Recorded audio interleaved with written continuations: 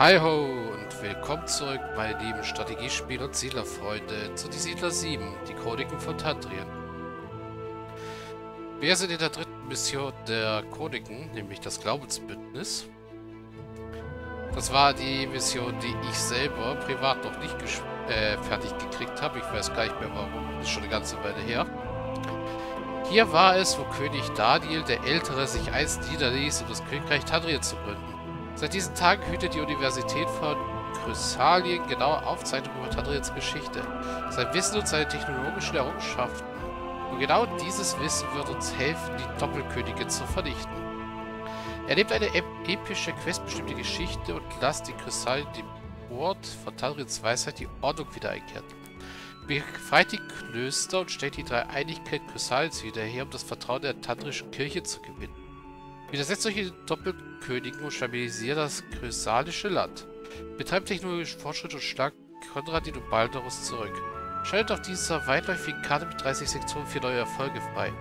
Besucht die Universität von Chrysalien, die Feste Baldingen, die Kanalisation, das Todesmoor und die antike Bibliothek.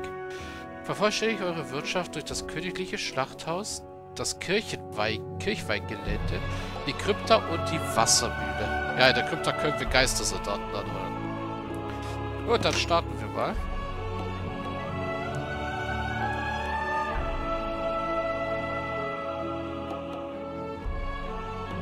Ich glaube, irgendwas war mir an der Mission damals zu kompliziert. Da hatte ich keine richtige Lust drauf. Aber jetzt werden wir ja sehen, wie wir mit der Mission zurechtkommen.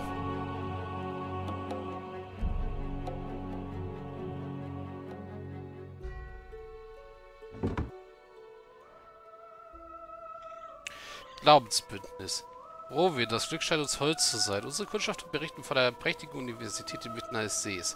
Als Erbe des diplomatischen Geschicks unserer Mutter nahm ich mir die Freiheit, mit dem ansässigen Dekan zu sprechen. Dieser bestätigte sogleich meine Vermutung. Wir haben die krystalischen Lande betreten.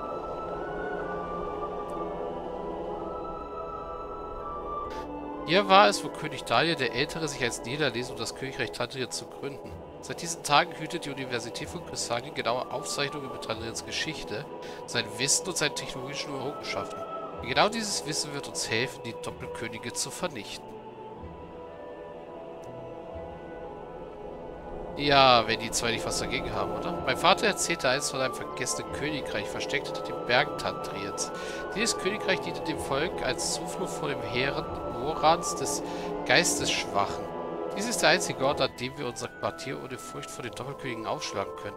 Wenn es etwas gibt, das uns den Weg zu diesem Königreich weisen kann, dann finden wir es in Kristallien.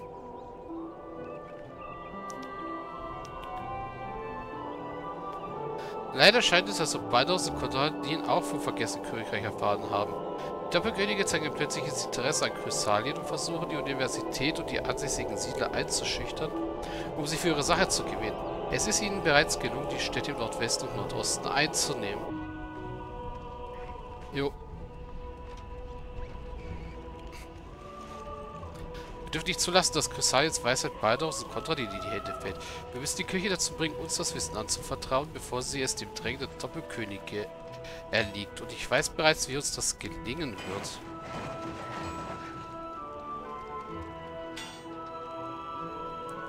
Wie es der Zufall will, soll bald ein wichtiges Konzil stattfinden. Wir werden diese Gelegenheit nutzen, einen so nachhaltigen Eindruck zu hinterlassen, dass die Kirche uns ihre Hilfe nicht verwehren kann. Wir werden die drei Städte rund um die Kristallien wieder aufbauen und damit die Dreieinigkeit von Kristallien wiederherstellen. Mhm. Außerdem werden wir den Khan Aurelius auf unsere Seite ziehen müssen. Ohne einen Fürsprecher wird uns das Konzil niemals Gehör schenken. Ich ließ den Gekart wissen, dass er sich mit jeglichen Problemen an euch wenden könne. Ja, wir spielen übrigens Rovin in dieser Mission, nicht Drakorian.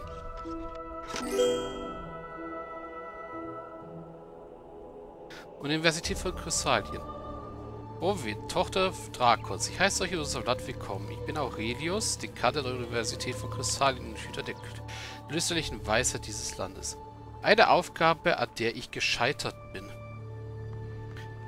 Meine Verzagtheit hat die Wissensschätze dieses Landes in große Gefahr gebracht. Heidnische Horden haben die ländlichen Gebiete um den See überfallen und ich habe nichts dagegen unternommen. Nun versperrt uns diese Ungläubigen den Zugang zu unseren Klöstern und es ist nur eine Frage der Zeit, bis sie ihre schmierigen Hände nach unseren Büchern und Technologien ausstrecken.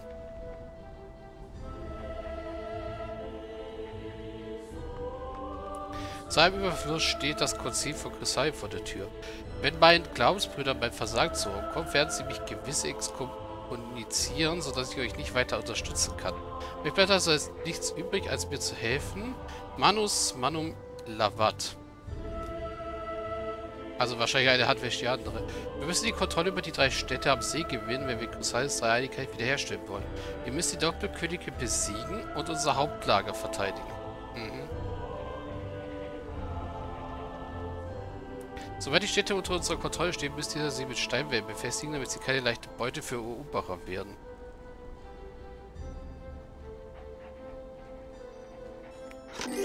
Ja.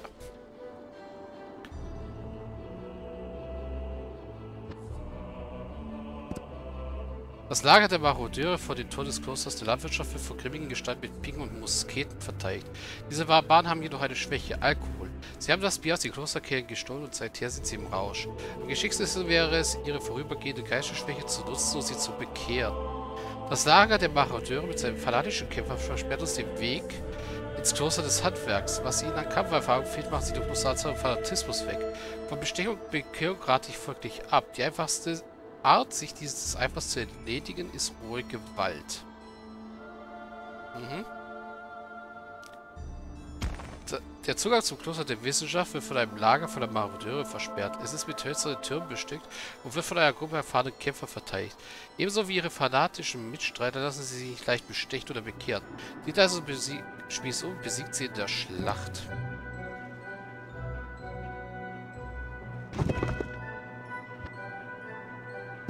Das Lager der Marodeure vor dem Bauer des okkulten Klosters wird von den starken Steintürmen und unzähligen Marodeuren beschützt. In diesem Fall sollte die Bestechung den Vorzug geben. Der Einfluss des Okkulten hat den schwachen Geist der Soldaten bereits verdorben und sie für die Verlockung von funkelnden Mützen und Juwelen empfänglich gemacht.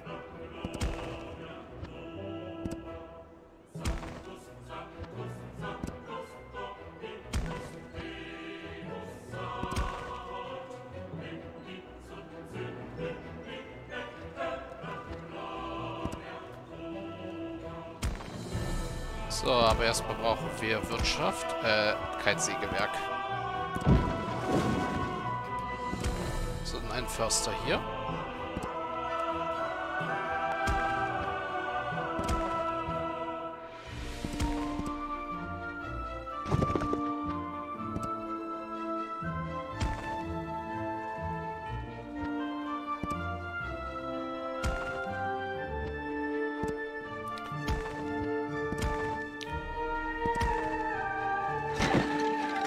So. Lass die drei Städte an den Ufern des Chrysalsees wieder, wieder stehen. Verschafft euch Zugang zu den Klöstern. Kloster der Landwirtschaft, Kloster des Handwerks, Kloster der Wissenschaft, Kloster des Okkulten. Stellt die Dreieinigkeit wieder her. Haltet die Stadt im Süden, befestigt die Stadt im Süden mit einem Steinwall. Erobert die Stadt im Nordwesten, erobert die Stadt im Nordosten.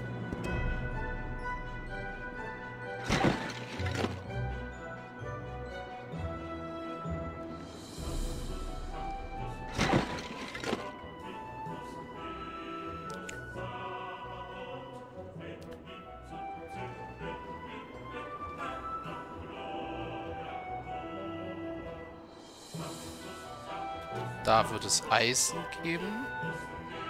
Gucken wir es erstmal um. Holz und Fisch. Noch mehr Holz und Fisch. Gold und Kohle in der Richtung. Ja, okay, dann breiten wir es erstmal in die Richtung aus, würde ich sagen.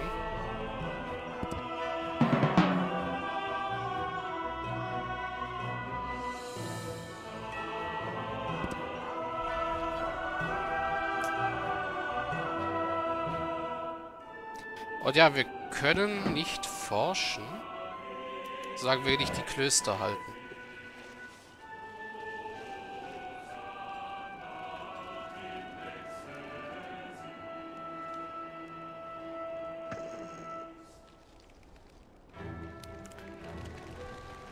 Das Gemeine ist, äh, unsere Gegner haben bereits ein bisschen Vorsprung, dadurch, dass sie Ja. Jetzt fehlt mir gerade das Wort dazu. Äh, vielleicht, dass sie mehr Sektoren und Armeen haben. Wobei, Armee ist unsere Stärke. Das war falsch.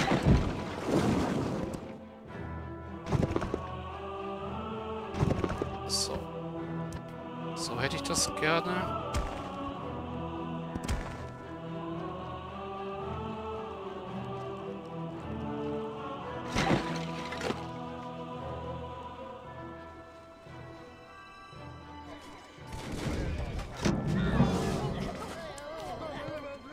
Ja, das wird mich halt Pikiniere kosten, aber sei es drum.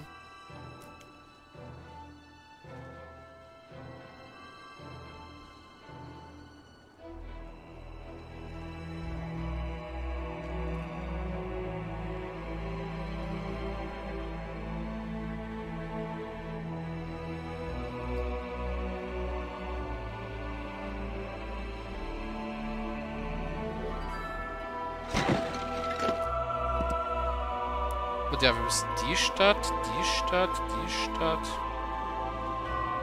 und halt auch die Stadt einnehmen.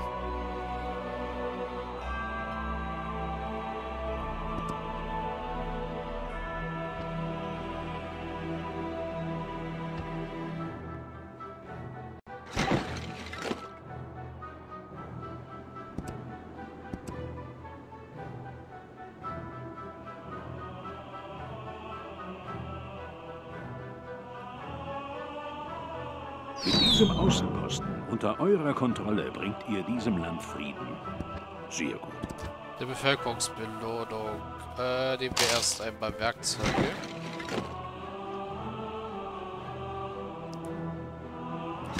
Hier nehme ich Gold und Eisen. Da schalte ich das frei.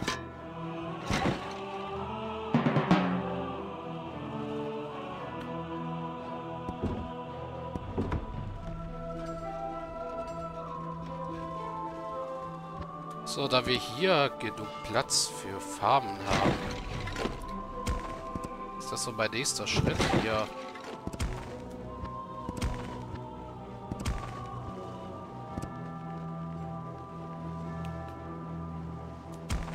Bisschen die Landwirtschaft anzukurbeln.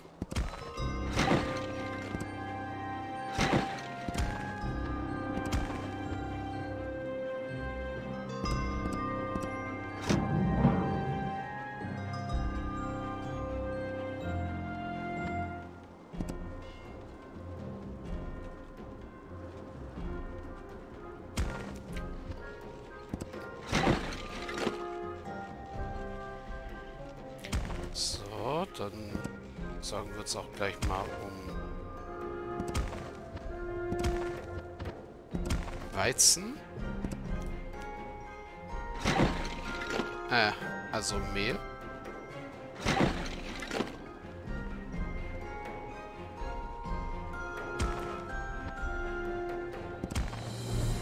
Bäckereien.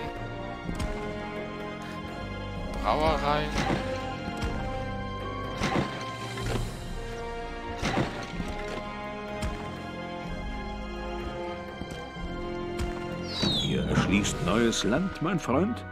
Großartig. Hier nehme ich mal das.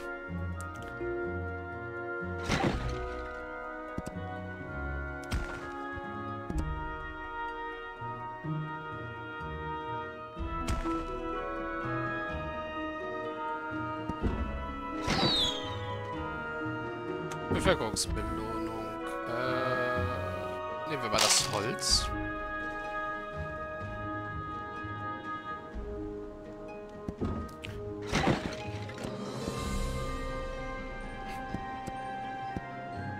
Die beiden nach ganz vorne bitte. Genauso wie das Ausbauen von diesem Ding hier.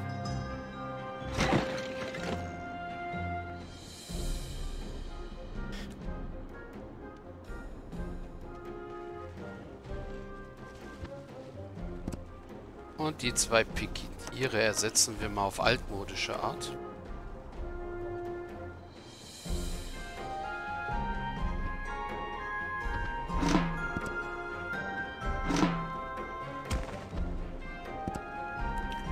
Und schaffen mehr Wohnraum.